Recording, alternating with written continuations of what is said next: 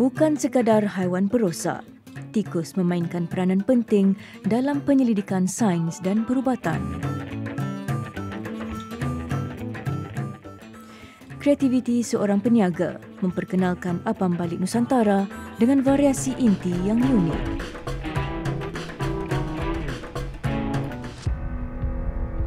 Sukan memanah tempur, warisan yang diteruskan oleh generasi baru.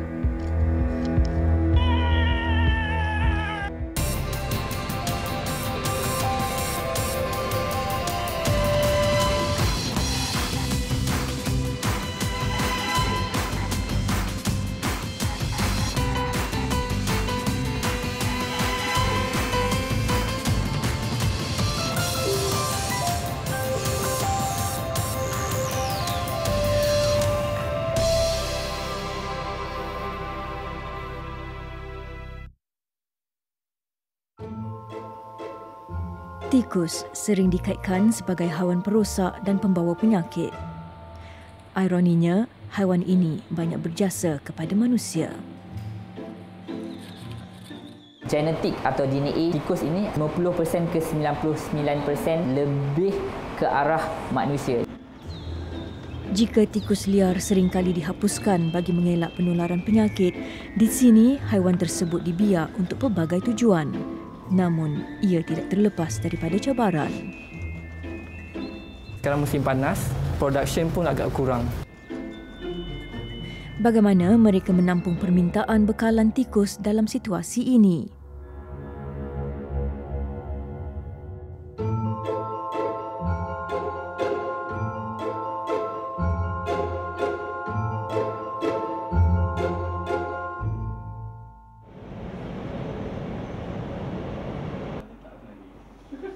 Menjadi kebiasaan bagi penggemar haiwan eksotik, Muhammad Razli Rahman, 29 tahun, berkongsi minatnya bersama rakan-rakan.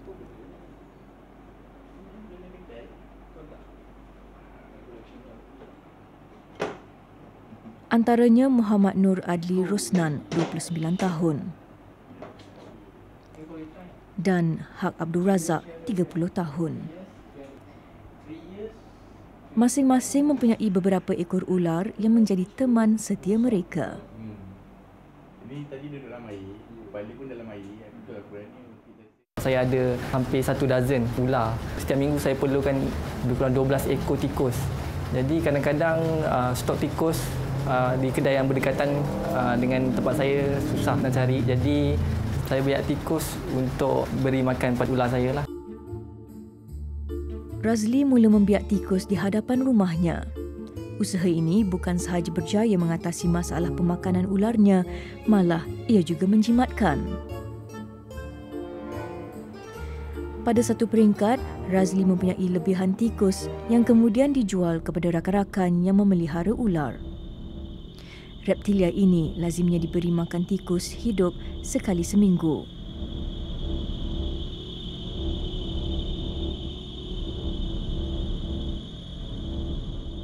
Saiz tikus pula bergantung kepada saiz ular.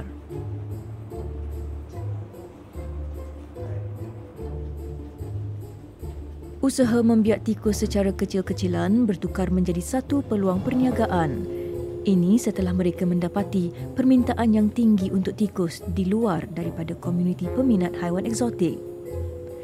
Ketiga-tiga rakan kemudian berganding bahu untuk mengusahakan pembiakan tikus secara komersial maka lahirlah KL Rodent Tree yang ditubuhkan pada tahun 2012. Permintaan daripada ramai pihak tu banyak daripada universiti, daripada uh, peminat ular tu sendiri. Saya seorang pun tak cukup untuk nak menampung dia punya bilangan kuantiti yang dia perlukan. Saya cuba propose pada Razli dan juga Hak untuk membuka sebuah kedai lah jadi saya panggillah siapa-siapa yang ada ternak tikus yang sama buat bidang macam saya ni untuk tolong saya. Kita buat sama-sama lah dengan kawan-kawan kan. Tikus ialah sejenis haiwan yang mudah dan cepat membiak. Bagaimanapun, faktor persekitaran boleh memberi kesan kepada kadar pembiakan. Ketika pertama kali saya melangkah masuk ke dalam pusat pembiakan tikus ini, saya terhidu satu bau yang kurang menyenangkan. Dan sebenarnya itulah lumrah bagi mereka yang bertugas di sini, perlu menghidu bau yang cukup tajam setiap hari demi membiak kira-kira 2,000 hingga 3,000 ekor tikus setiap bulan.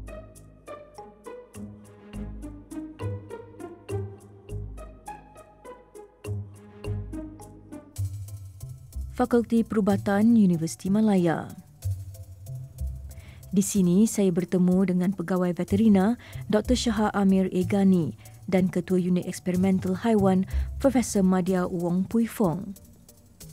Saya dimaklumkan kajian ke atas haiwan lazimnya dilakukan di dalam dunia perubatan. Dan di unit eksperimental haiwan, penyelidik menjalankan kajian ke atas tikus.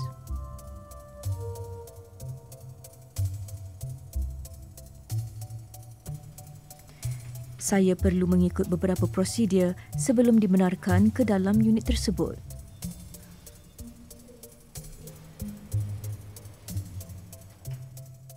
Unit eksperimental haiwan ditubuhkan tiga tahun yang lepas oleh Universiti Melaya.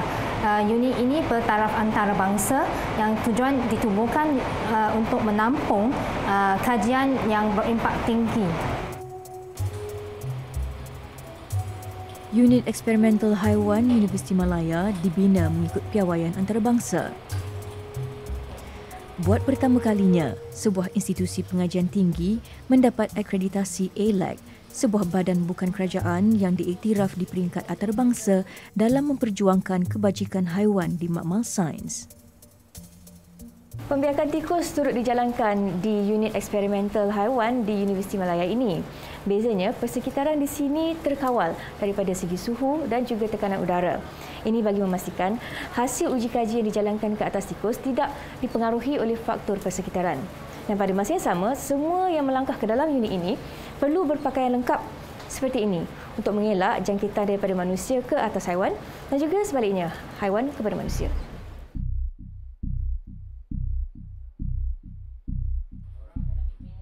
Di sini, tikus tidak dibiak sepanjang masa tetapi bergantung kepada keperluan penyelidik. Setiap kelahiran tikus spesies Frog Dolly ini direkodkan dengan teliti. Ini kerana setiap induk betina hanya dibenarkan untuk mengandung sebanyak lima kali sahaja. Menurut Dr. Shah, jika lebih daripada itu, anak tikus yang dilahirkan mungkin kurang berkualiti. Fungsi saya adalah memastikan kebajikan haiwan terjaga dan pengurusan haiwan uh, dalam keadaan yang baguslah uh, dari segi pemakanan, nutrisi uh, dan pembiakan. Saya harus memastikan penyelidik-penyelidik dapat melakukan penyelidikan dengan asas-asas etika haiwan yang dibenarkan. Selain tikus, mencit juga dibiak di sini untuk tujuan penyelidikan. Hari ini, Dr. Shah akan membantu Profesor Wong menjalankan kajian. Dalam menepati piawaian, uji kaji perlu dijalankan tanpa menyakiti haiwan. Penghasilan vaksin ini adalah uh, satu pencapaian yang baguslah yang disumbangkan oleh tikus-tikus makmal ini.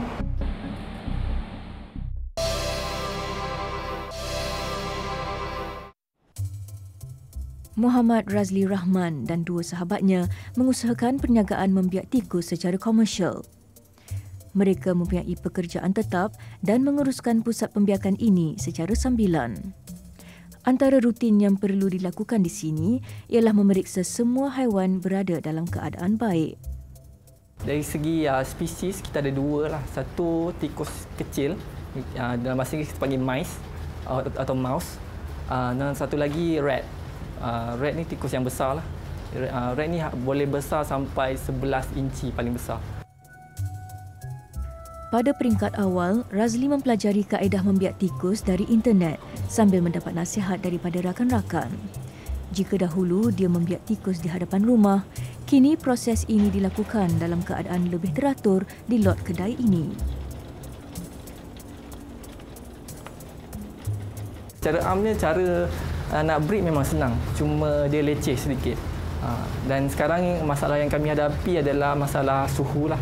Uh, sekarang musim panas, jadi uh, production pun agak kurang. Uh, jadi itu cabaran-cabarannya lah untuk setakat ini.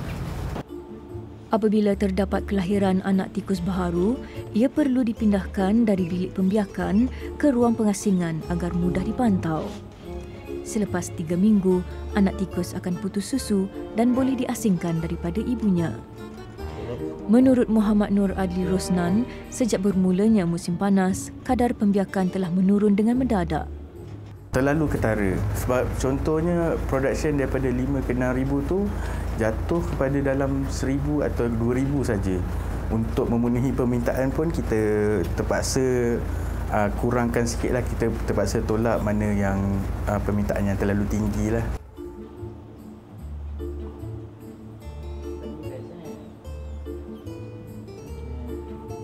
Kos untuk membiak tikus di sini mencapai RM5,000 sebulan. Pun begitu, ia bergantung kepada bilangan tikus yang terdapat di sini. Bergantung pada production. Kalau 5-6 ribu kita akan mungkin kita memerlukan uh, lebih kurang 50 guni kalau tak silap saya untuk makanan saja tapi uh, sebabkan production kita jatuh jadi kos tu pun akan menurun sikit lah.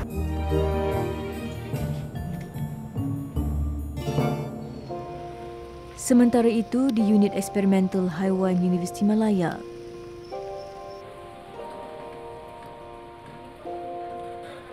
Pegawai veterina Dr. Shah Amir akan membantu penyelidik Profesor Wong Pui Fong yang juga ketua unit ini menjalankan kajian ke atas tikus. Genetik atau DNA-nya uh, lebih ke arah manusia. 50% ke 99% DNA tikus ini uh, lebih menyerupai manusia dan ia sesuai untuk dilakukan kajian penyakit-penyakit uh, atau fisiologi anatominya lebih berkesan berbanding binatang-binatang lain. Menurut Dr. Shah, tidak mudah bagi mana-mana penyelidik menjalankan kajian di unit eksperimental haiwan. Mereka perlu memenuhi beberapa syarat sebelum dibenarkan menjalankan uji kaji ke atas tikus.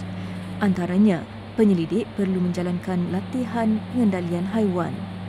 Sejak unit ini ditubuhkan tiga tahun lalu, banyak kajian perubatan telah dijalankan di sini yang memberi manfaat kepada orang ramai. Antara kajian yang dijalankan termasuk kajian mencari vaksin baru terhadap virus influenza.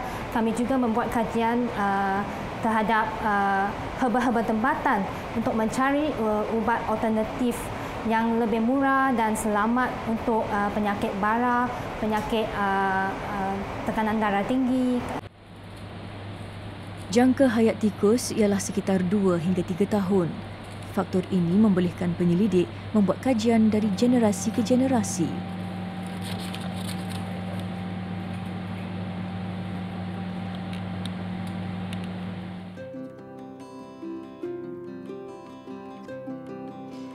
Di pusat pembiakan KL Rodent Tree pula, cuaca panas memberi kesan kepada kadar pembiakan tikus. Hulk dan rakan-rakannya perlu berusaha lebih untuk memberi keselesaan kepada haiwan di bawah jagaan mereka. Di sekolah, haiwan itu digunakan oleh murid-murid untuk mempelajari anatomi badan. Manakala di institusi pengajian tinggi, selain kajian perubatan, banyak kajian lain dijalankan termasuklah uji kaji bahan kimia.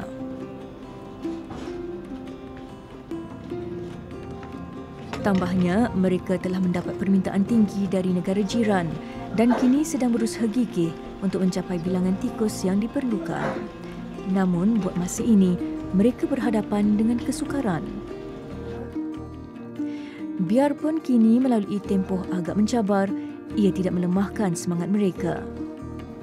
Tiga pemuda ini menganggap ia sebagai lumrah dalam berniaga yang sering ada pasang surutnya.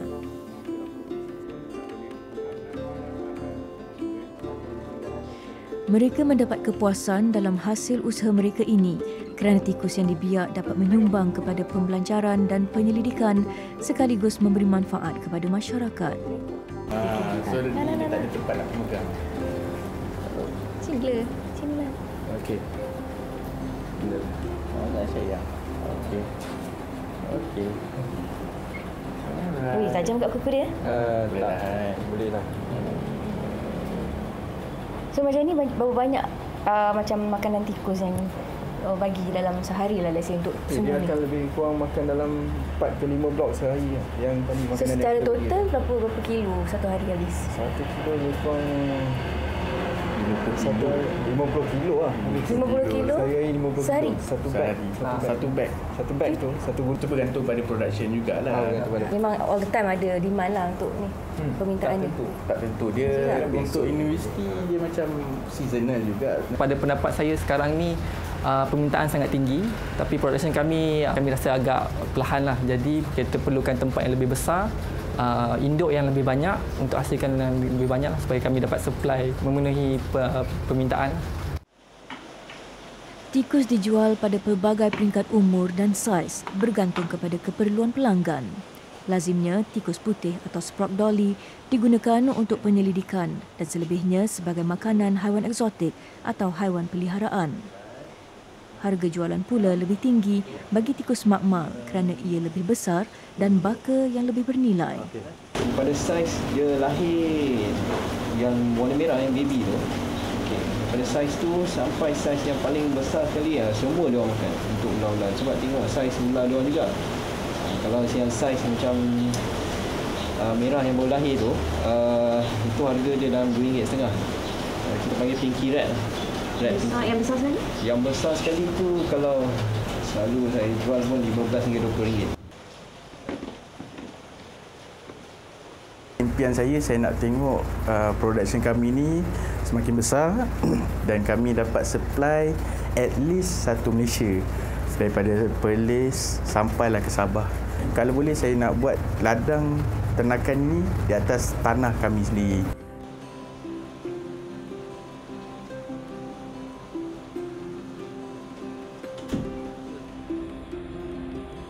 Di samping berurusan terus dengan pelanggan, kedai haiwan peliharaan turut dijadikan orang tengah untuk menjual tikus. Ia memudahkan orang ramai, terutamanya penggemar haiwan reptilia untuk mendapatkan bekalan.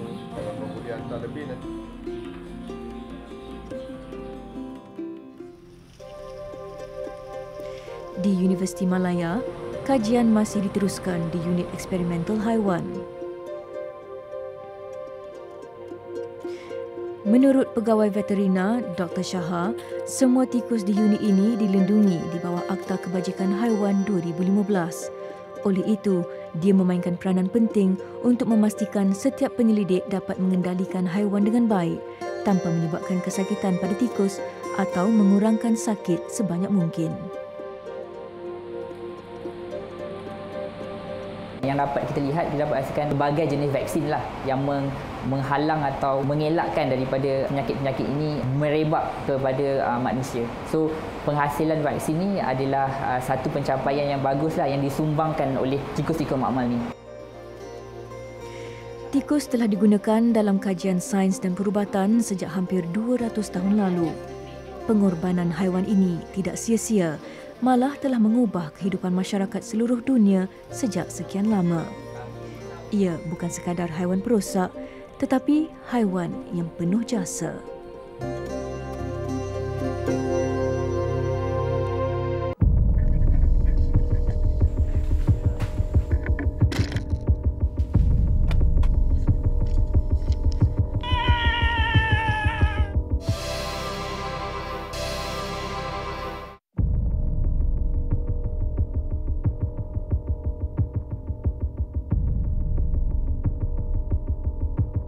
Meru Klang.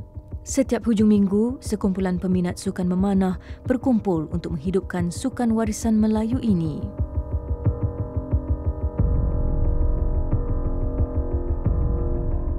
Sebentar lagi kita akan mengadakan perlawanan combat archery.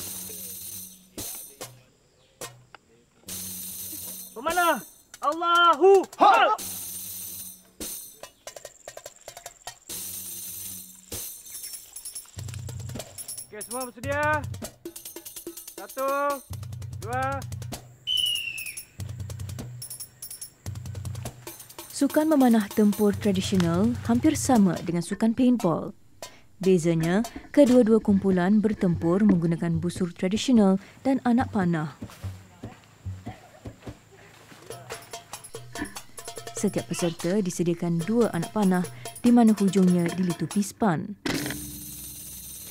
Setiap pasukan pula terdiri daripada enam pemain dan mereka yang terkena anak panah akan dikeluarkan daripada permainan.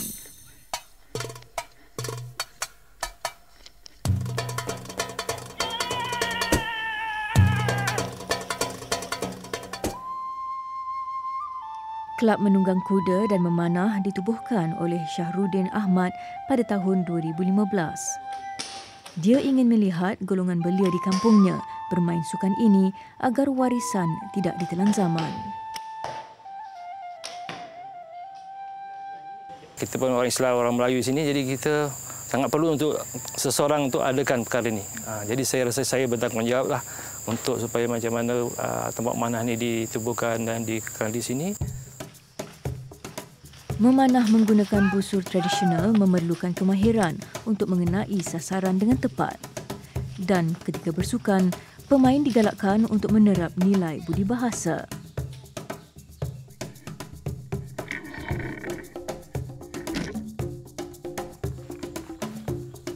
Rama-rama terbang melayang. Terbang melayang di waktu pagi. Hari ini kita berperang. Kalau ku panah, jangan kau lari.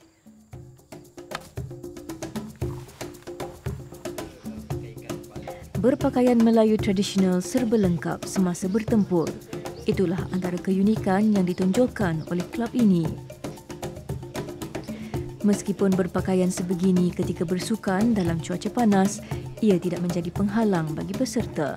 Ah, biasa kalau pakaian tradisional ni kita pakai hanya untuk hari raya. Uh, tapi sekarang ni bila adanya aktiviti macam ni uh, tak rugi beli baju Melayu. Bila datang sini disuruh pakainya ni uh, kita pun tertanya-tanya lah kan uh, mungkin ada ada kenapa? Kena pakai macam ni? Bila diterangkan oleh Encik Syah baru kita faham lah. Uh, kenapa perlunya macam ni. Salah satunya kita nak menghidupkan uh, suasana ataupun budaya Melayu itu sendiri. Bagi setiap permainan memanah tempur, kelab ini mengenakan bayaran RM150 sejam untuk dua kumpulan. Memandangkan setiap pemain hanya diberikan dua anak panah, mereka perlu merancang strategi dan menembak dengan tepat. Busul tradisional ini pula tidak mampu menembak jauh. Oleh itu, pemain perlu menyerang dari jarak dekat.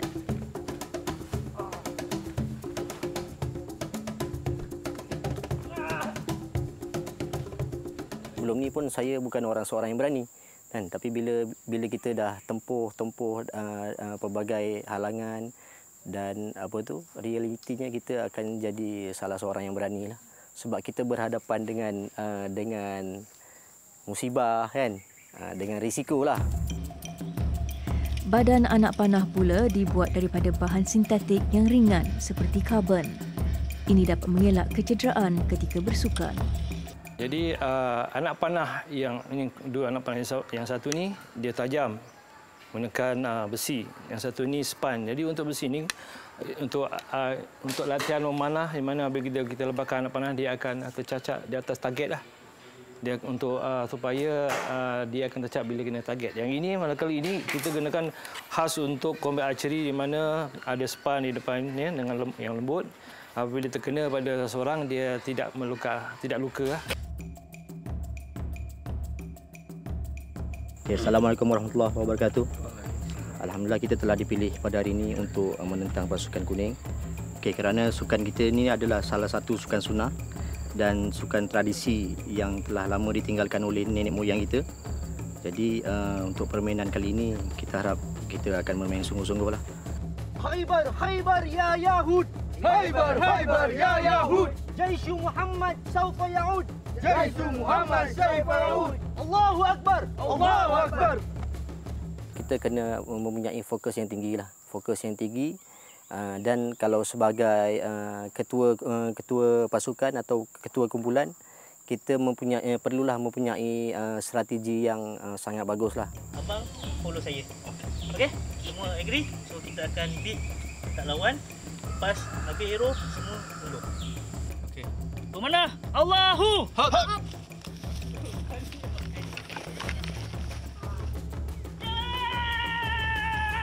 Busur tradisional biasanya dibuat daripada buluh dan harganya boleh mencecah ratusan ringgit. Agak mahal juga.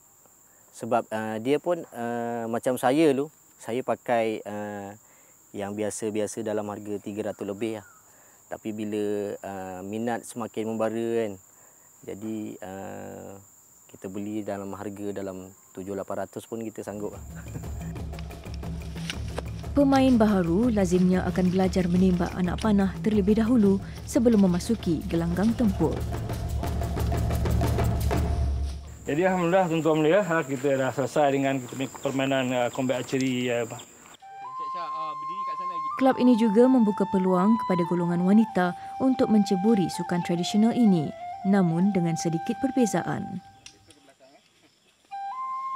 Boleh diadakan untuk orang wanita tapi kita tidak gunakan tempat yang macam inilah. Kita gunakan tempat tertutup, indoor uh, supaya sesuai sebab mereka ni uh, pergerakan mereka terbatas. Jadi kita adakan juga untuk uh, untuk wanita.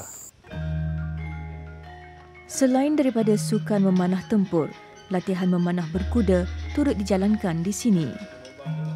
Bagaimanapun, peserta perlu menguasai kemahiran menunggang kuda dan memanah sebelum mencubanya.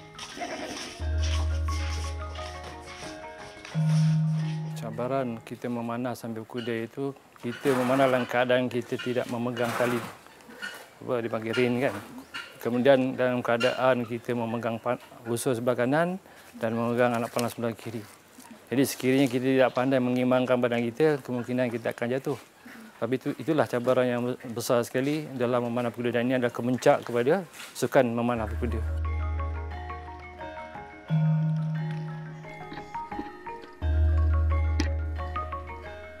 Benda ni baru kita orang belajar. Tapi kita orang belajar satu persatu lah. Tapi tunggang kuda dah lama lah. Yang archery ni lah baru saya. Bayaran RM300 dikenakan untuk lima sesi latihan memanah berkuda. Mereka yang tiada pengalaman memanah perlu melalui latihan selama enam bulan sebelum bersedia untuk mencuburi sukan ini. Sebab bila memanah berkuda, dia kena dia kena cepat. Kan bila maknanya bila tengah naik dia kena cepat. Secepat yang mungkin. Kalau dia lambat dia akan tertinggal target. Selain penunggang, kuda juga perlu persediaan rapi untuk menjayakan sukan memanah berkuda ini. Kita ajar dia mula-mula dengan pelan-pelan. Lama-lama dia akan biasa dengan panah. Kalau kita letak panah ni kat muka dia, dia tak takut. Kalau reaksi biasa dia? Reaksi dia kalau kuda yang tak biasa dengan panah, dia akan takut. Dia akan kalang kabut lah. Kelibat penunggang ini persis pahlawan Melayu dari zaman silam. Hasil latihan, anak panahnya tepat mengenai sasaran meskipun berada di atas kuda yang sedang bergerak.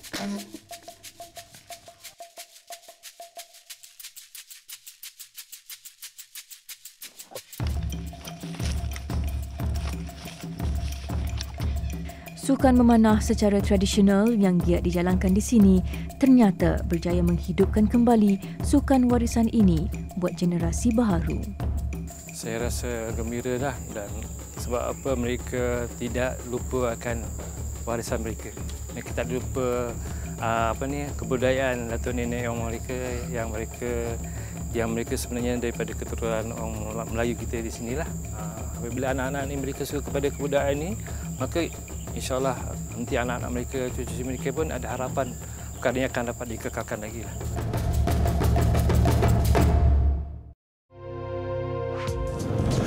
Sebab dia bila dia, dia, dia potong, bila kita buka pun dia macam meleleh keluar. keluar. Jagung dia punya kering tu mulut dia keluar. Ha, ha, ha. Memang sedap betul lah.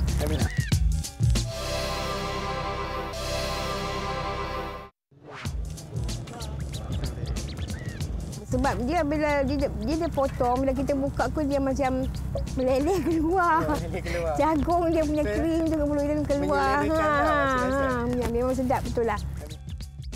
Apam balik sejenis juadah ringan yang popular di negara ini. Namun, seorang peniaga menyahut cabaran dengan memperkenalkan sesuatu yang unik. Erianto Edward mengusahakan gerai Apam Balik Nusantara yang menawarkan pelbagai variasi kepada intinya. Bagaimana penerimaan orang ramai terhadap pembaharuan ini?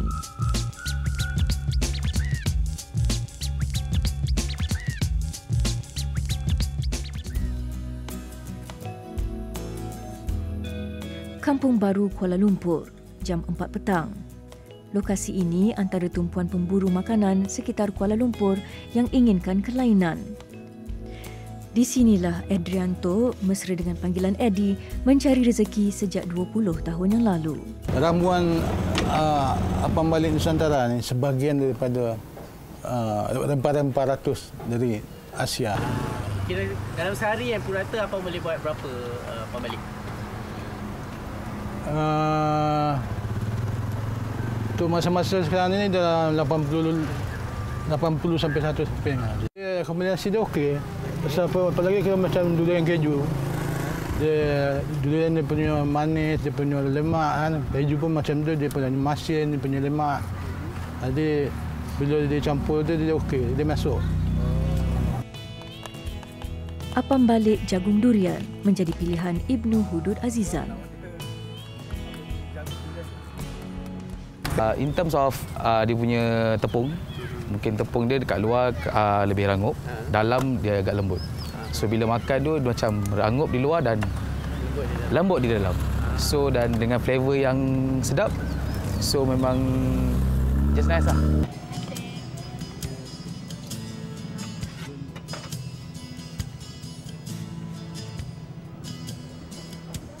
Setiap hari, Eddie dibantu isterinya Nurul Hazlin Abdul Halim.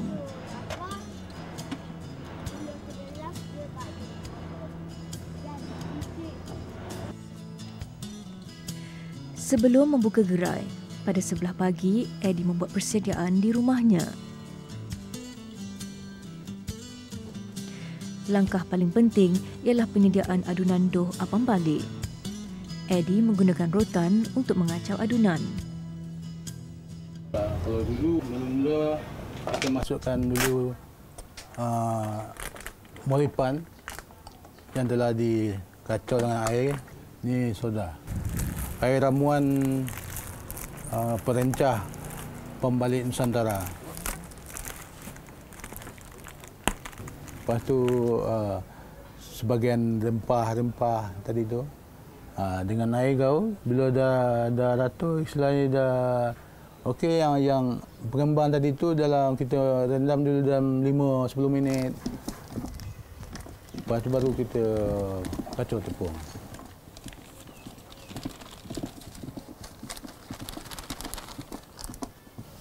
Tahun 98 tadi saya jumpa uh, jumpa satu pembalik uh, bangka yang yang yang isi dia macam-macam. Yang ada cheese ada coklat ada keju tu kan.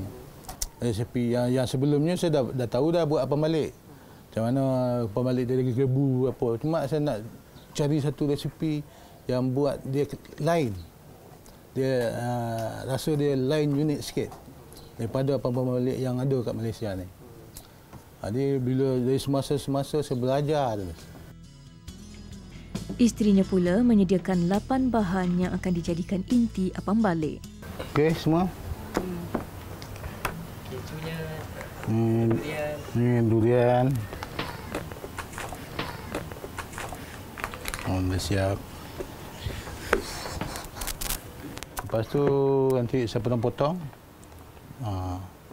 Potong-potong je macam tu.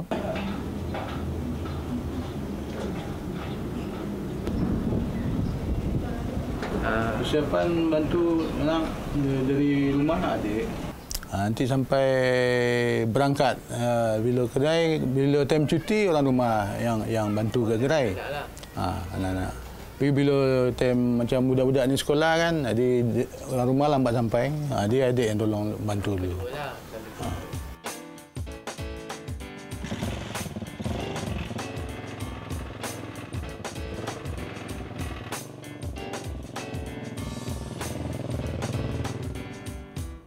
Eddie selesa menggunakan motor untuk berniaga berbanding membuka kedai. Ini bagi memastikan apam balik yang dijualnya kekal dengan harga lebih rendah. Ia juga antara faktor pelanggan terus setia mengunjungi kedainya. Eddie menyediakan kira-kira 30 gabungan perisa pembalik yang terdiri daripada ramuan moden dan tradisional. Pelanggannya pula terdiri daripada pelbagai peringkat usia. Keju dengan jagung coklat satu. Satu-satu. Ha. Saya rasa kalau orang lain datang boleh ikut sebab benda ni lain daripada yang lain. Biasanya kan kita tengok apa uh, dalam dia ada kacang, gula dengan sikit jagung kan. Uh, so yang ni ada variasi uh, sebab banyak choice kan. Harga pun macam not bad lah. Okay, bagi saya, uh, contohnya saya sukakan apa balik coklat. Memang coklat diletak tu memang mencukupi. Memang kalau makan tu memang cukup lah. Cukup memang tidak terkata. Coklat memang saya suka. Sampai, sampai ada satu kali tu, kawan saya pada Terengganu, kerja dekat Terengganu, dia selalu main-main ke saya lah. Order apa balik coklat untuk bawa balik Terengganu. Kombinasi dia okey. Pasal apa, apalagi kalau macam durian keju. Dia durian dia punya manis, dia punya lemak kan. Keju pun macam tu, dia punya masin, dia punya lemak. Jadi bila dia campur tu dia okey, dia masuk. Assalamualaikum Mehdi. Okey, saya Fauzi. Okey, kabarnya abang jual uh, lebih kurang 30 jenis apam balik Nusantara. Okey, saya rasa kalau saya nak cuba masak sendiri boleh? Boleh. Okey, saya rasa nak cuba durian cheese. Ah, okey, boleh saya cuba masuk dalam eh? Kami berasa agak kekok menghasilkan apam balik ini sendiri buat pertama kali. Ia memerlukan kemahiran untuk memastikan apam balik tidak melekat dan hasilnya garing. Ah, okey okey okey. Hmm. Okey. Alright.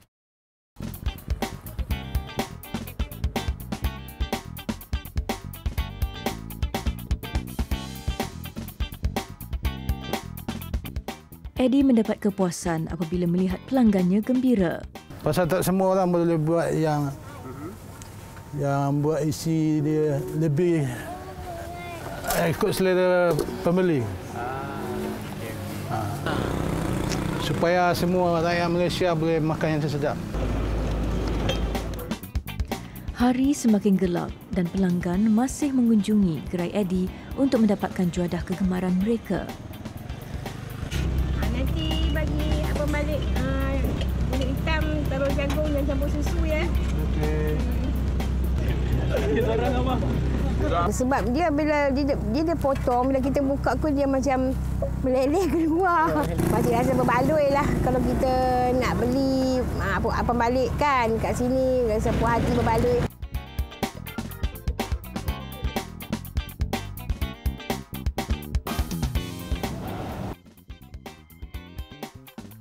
Kejayaan Eddie memperkenalkan apam balik Nusantara kepada penggemar makanan tidak terhenti di sini.